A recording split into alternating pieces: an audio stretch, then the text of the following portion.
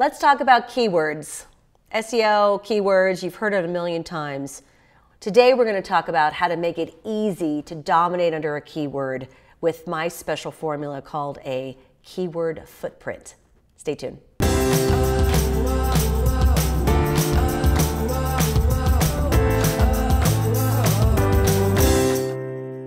So every keyword on the internet is like its own little universe.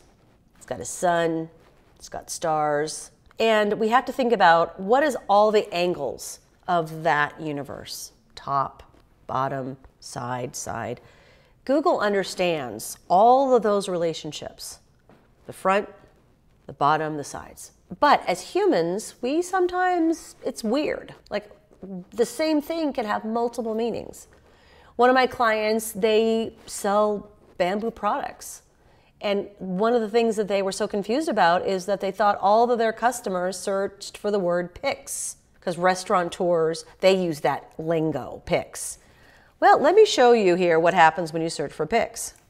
And they were convinced this is how people search for their products, toothpicks, but they call them Pix. Well, when you put Pix into Google, as you can see, it's all NFL picks. Top to bottom, front to back, it's all NFL. Oh, okay. So even if I optimize for that phrase, uh, that wouldn't be really where we would want to be anyway. Now I jump over to images. Check this out. Now, oh, look, it's all guitar picks. How could the same word have so many different angles? A uh, party pick, there's, oh, and a picture. Hello, everyone calls a picture a pic. That's a PIC, but it still has the same sort of, you know, essence to it, if you will. So this happens a lot where users get this keyword in their head, business owners especially, they think that this moniker, this acronym is going to be the thing that you know, pushes them out the stratosphere and into this whole world of notoriety. Well, what I know for sure is in findability, it's about understanding that one keyword phrase that you want to own and what's all the different sides of that keyword, front to back. So we have something we call a keyword footprint, and it'll be downloadable at the end of this video. The footprint is going to walk you through all the different angles of how people think about that. So remember, Google's been collecting and archiving all this content since the day it was born, and it keeps all of that in its archive. Now, the data you see in these keyword tools are giving you a running 12 month database of keywords. But let's face it, they have all this data. They know all the different ways that people think about a specific topic. So when we go in here, we want to make sure that we're being a thought leader by keyword phrase. So let's go in and let's pick a topic. So I'm going to pick 3D printers because my husband is crazy. He's printed everything in a 3D printer. He printed me a vase for Mother's Day. It was about this big, held all my flowers. Gorgeous. He prints me like ring holders and holders for my cell phone and strange things like octopuses and it's very strange, but he's just so happy. I just can't deny him that. He just loves it. So what we're going to do is we're going to go in and I'm going to type in 3D printer. Now there is a whole world around 3D printing. And what you'll see here is we've got designs, filament, that's the stuff they put in there that gets um, melted when it makes it, price, software, files, reviews, pen, and cost. Hmm, that's pretty interesting. So what I'm going to do is I'm going to hit that guy. I'm going to look at the page. I'm going to scroll down. Oh, look, a bunch of questions. What is the best 3D printer? What is the best 3D printer for home use? Is a 3D printer worth it? Can you make money with a 3D printer? Hmm, that's pretty interesting. So those questions, you'll often see those questions pop up in search results, and you want to take a screen grab of that because those are the questions you're going to want to answer if you're going to be a thought leader in 3D printers. Now I'm going to scroll all the way to the bottom again, and I'm going to see those same drop downs. So what you'll see here is I see Amazon and YouTube and prices and uh, MakerBot is a kind of 3D printer, best professional 3D printer, and of course we have 3D printer metal. They do, they print metal, it's crazy. So we go 3D printer. I'm, I really like this one as well, the one that's at the very top. This is called suggestive search. Google knows all the things that people add on to the root of 3D printer. So if I know what people are adding on top of that, that means I can craft my content around what they already want. Yay! right? We don't have to guess in marketing anymore. It's right here. I mean, if this doesn't make you excited, then I don't know. I just get so happy about stuff like this because I am sick and tired of guessing about what is going to convert, what's going to connect, what's going to resonate. Have you guys heard that? It's like, ah, no, it's not your mission statement and it's not the tagline under your logo. It's not going to resonate. It's not the acronym that you make up that represents a product you have. No one cares. It's about what's in it for them, right? What are they searching? So I'm coming into 3D printers and I see designs and price and filament. If I'm going to be an expert in that space, I better talk about those things. So I'm going to take a gra- screen grab of that. Now let me show you my footprint. So now you're seeing my keyword footprint. So when we're looking at all the different angles of keyword, it's important that we have a graph so we can map it out. So what you're seeing here is I'm going to pop in here 3D printers. So I'm going to start with what the phrase is. Okay.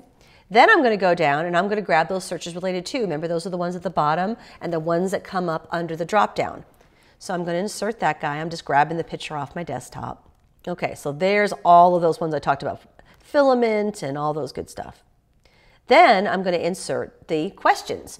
You know, if you're going to be a thought leader, you've got to answer those active questions. Remember, bring them into church and then convert them. So we've got to know what is the lexicon of my expertise. Then once I know what the lexicon is, then I can talk the way they're thinking, create content the way they're thinking. Then all of a sudden they find us and then we tell them about our signature system, our, our three step process, our acronym series, whatever. But we, we started with them first and then we turned them to our stuff, okay? There's my questions. Now here's the interesting part is now that I know it's 3D printers, I've got all the searches related to. So those are all the things people add on to it after they type in 3D printer. I have all the current questions that people are answer that are asking of Google. They're super important that you answer those questions. And those questions could be videos, they could be blogs, they could be social posts. You just got to answer the question. Now here's the cool thing you can't just be a one trick pony, right? We're going to make sure that we are going to have blogs, but then we're going to share it. So, what we're going to do is we're going to jump over to Instagram. Now, Instagram has really done an amazing job of really making hashtags something that is very meaningful. Now, let's talk about hashtags for a minute because I get a lot of eye rolls when I say hashtag, especially if the group is over 40, 45, they're like, oh God, I'm so tired of hearing about hashtags. My teenage son recently told me to not say hashtag out loud. That's embarrassing. He also said, don't ever do this in my presence. so of course, what do I do? This all the time. there's gotta be, there's gotta be payback. He wanted room service for two years when he was a kiddo. So, you know, it's gotta be payback, right? So, you know, hashtag this, hashtag mom tired, hashtag mom needs a break. It's fabulous. Try it with your teenager. It's wonderful. Okay, so I'm at Instagram now. I'm going to go in and I'm going to do a hashtag 3D printer. Now, what you'll see that comes down is all of the different elements there that people are using for the 3D printing world. So you'll see hashtag 3D printer has 731,000 posts for that hashtag. So let's talk a little bit about what the heck a hashtag is. I like to think of a hashtag like a club. So I like rose gold, Earl Grey, and ringers. Those are the three things that I love. So I'm going to follow the hashtag. It's like I'm going to go to a party where everyone loves rose gold. And then I'm going to go to a party where everyone loves Earl Grey. Now, I don't have to follow you in order to be interested in that topic. So I just want to go to these cool parties. So you can follow a hashtag and then you're going to see that show up in your feed in Instagram. Now, here's the cool thing is that hashtags work cross all social media. Hashtags work in Facebook, hashtags work in Pinterest, hashtag works in Twitter, Instagram, and they even work in YouTube and LinkedIn. I forgot LinkedIn. So if we can tap in to what the trending hashtags are around the topic that we want to be subject matter experts on, you'll see on my screen here that there is some really cool hashtag activity. Uh, 3D printer world gets almost 9,000 posts. 3D printer news, 2,200 posts. 3D printer filament, 4,600 posts, and I guarantee you my husband is following all of these. He's also a drone pilot, so it doesn't get much geekier than that. Love you, honey. Now I have this little universe of how do I share this so I get in front of the right people. A lot of times social media just falls on flat ears because all you're doing is pushing, Pushing, pushing, pushing. Here's my stuff, here's my stuff, here's my stuff. You should like it, you should follow it, you should comment on it. Why? Does it have anything to do with what I'm interested in, or is it just because something you're obsessed with, or something you can't stop talking about? But when you change your perspective and you think about a footprint, a keyword footprint, you're thinking from their standpoint, not from yours. All right, so we've got 3D printers down. We've got our searches related to, we have our questions, and now I'm going to add in our hashtag. All right, now I'm in a really good position. Now, this is where it gets a little fancy. In our retreats and our coaching programs, we teach clients and their marketing teams on how to use some pretty geeky stuff. One of our favorite geeky tools is SEM Rush, Search Engine Marketing Rush, SEM Rush. It is about $99 a month. You can sign up for a free seven day trial with a credit card. We're going to show you a lot of other keyword tools. This is not the only keyword tool. This just happens to be one of our faves. let me show you why. So I'm going to go over here and I'm going to go to dashboard. Now this is the SEM dashboard. I don't want it to be intimidating to you. We're only going to look at two things. The first thing is we're going to go to something called the keyword magic tool. I love how they just add magic to it. I've decided I'm going to add magic to everything the keyword magic coaching call, the keyword magic retreat. Just makes everything sound so much better. So I'm going to start using magic in everything. All right, so we're going to go to the keyword magic tool. I'm going to type in 3D printer. And let's, let's let this tool that archives and indexes content from Google, Yahoo, the three people that go to Bing every day. I think they have a bell too, because when they have three people, they ring the bell. But it's mostly from Google data. Google has the largest search share of any search engine on the planet. So there you go. All right, so let's go down here. So 3D printer, you'll see here. Let me walk you through what you're looking at. 3D printer, that exact phrase gets 301,000 searches per month. That's a lot. It gets, and it's also, um, people are paying a dollar and 36 cents per click to be findable for that. So if you're thinking about what's the value of me ranking organically, just take 300,000 times $1.36. That's the monthly value of that keyword, kind of the street value of that keyword, if you will. So that's probably a good one, but that's going to be pretty hard to rank for. So let's pick something a little more specific. Typically, the longer the keyword, the shorter the search volume, which you're like, er, that's like record scratch. You're like, mm, I don't want lower, I want bigger. Not in search marketing. Search marketing is about getting a longer keyword phrase and getting maybe a smaller amount of searches, but those searches are amazing. They're targeted, they're fire hot. We want those. When I was at Yahoo, we studied keyword length. And when we had three keywords, one, two, three, four, they were 36% conversion rate. And a 36% conversion rate means they did something when they got to your site. They followed you on social. They subscribed to your blog. They did something. That's really what we want them to do at the end of the day is do something. And also, we're not these huge corporations with huge marketing teams. We've got to be a little more scrappy and we got to figure out the keywords that really we stand a chance to actually rank for. So you want to pick something that's four keyword phrases in length, ideally. And then we want to find something that's beefy enough or interesting enough that we could own that keyword. Remember, the keyword is the boss. We want to make sure that we're picking the right boss here. So you'll see we've got all kinds of things. We've got best 3D printer, metal, cheap. Let's see, 3D printer price, printer designs, models. So if I own a 3D printing company, then I'm going to want to definitely be tapping into all of these different things.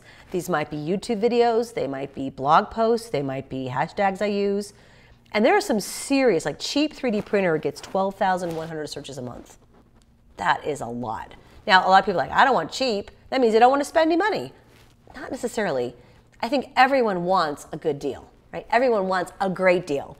And we put cheap in, it's because we want a great deal. It's not because we're not going to spend any money. Does that make sense? Like it's so you want to really pay attention to when they show up in that way. So let's keep looking down here. Let's find something really interesting here. I'm going to go back up and type in filament. Filament is the, the plastic that you put into the 3D printer, and then that melts and extrudes to make all these cool stuff. As a 3D printer, or maybe a filament maker, I could do 3D printing filament types, 3D printer filament, uh, wood, metal. They actually have wood filament. It's, it smells bizarre when you print it. It smells like you have a fire in the fireplace. it's very strange. But they have all kinds of really cool stuff for filament. So I'm going to go in here. I'm going to go back to 3D printer Now that number has a very big number, yeah, 300,000, which is a lot. I'm probably not going to rank for that, but you know what? I know that I should be talking about that. So 301,000 searches per month. I'm going to put that down right there under search volume. 301, comma 00. So another cool part, I should say, is SEMrush has a cheat sheet. So you're like, okay, great, Heather. 300,000 searches. Like, how do I even know how much to write on that? Is it a thousand? Is it a hundred thousand? How much? This tool has a cheat sheet that we can go in and say, okay, great. I want to rank for 3D printer or 3D printer filament. So I'm going to come in here and I'm going to put 3D printer. This tool is called the SEO content template. And the reason that this has like changed my business is because it gives me the actual cheat sheet. We used to count, let's go to the top 10 sites, count the repetitions on each page, and then do a word count. And we had to do these in these massive spreadsheets. It was such a pain. When I found this thing, I practically cried because I'm like, oh my gosh, this is now going to save me so much time. So take a look at this. What this tool does, the, the content template tool, is it goes in and says, okay, here are the top 10 sites that rank for 3D printer. Gives them right there. And then what this tool does is it goes, it visits each one of those sites and calculates a formula, a cheat sheet by which we're going to write our page to. So the top 10, there's already an algorithmic equation of why those are there. I don't have time to figure out why they're there. I just know that those guys are doing something right. I want to do more of what's right. I also like to think about this as cool kids. So think back to high school or elementary school. You know who the cool kids were. They sat in the back of the bus. They knew all I ate the same sandwiches. They all had the same outfits. They hung out together. That's a cool kid. If I could have gotten the recipe to be a cool kid in high school, that would have been a game changer for me. But I want the cool kid formula. And that's what this is.